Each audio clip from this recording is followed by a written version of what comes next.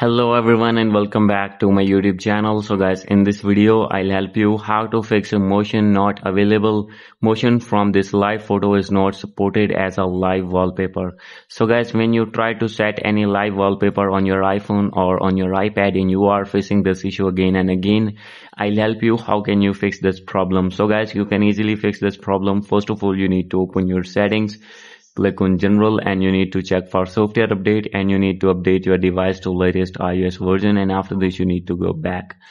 So guys after going to back simply you need to scroll it down and from here you need to click on wallpapers and now you need to click on add new wallpaper and uh, when you try to set any live wallpaper first of all you need to do two things. First one is you have to download any live wallpaper from any third party app and guys the second way to get live wallpaper is you need to capture live wallpaper with your iphone or with your ipad. And after getting that live wallpaper then guys you need to do this method and click on live photos.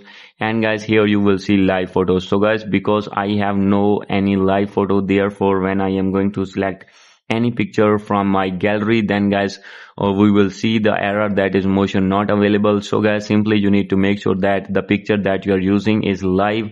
And guys after uh, uh, doing this your problem will be fixed. So guys hope you like this video. If you like this video please do subscribe my channel. Thank you